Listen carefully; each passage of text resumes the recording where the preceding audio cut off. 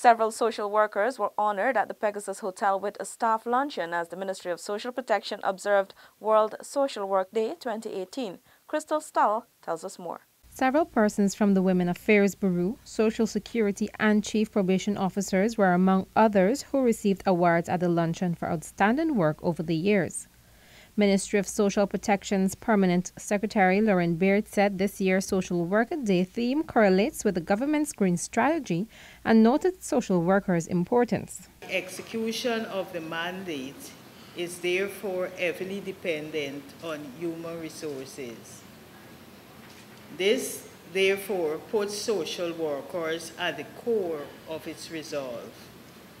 Specifically, it entails leveraging the values and tools of social work to enable individuals to, to strive and contribute to building equitable, inclusive, and sustainable communities at the local, national, and global levels. Baird advised that social workers need to be resilient and strive for the change they want to see. Deputy Director of the Social Services Department, Abiki Benjamin Samuels, commended the social workers for the vital role they play in catering to the needs of persons in society.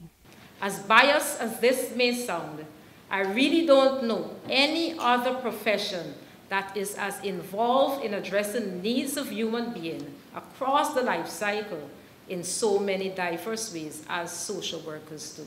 Regional social services representatives attended the event. This year's Social Work Day is being celebrated under the theme Promoting Community and Environmental Sustainability. Crystal Stahl for InfoHub.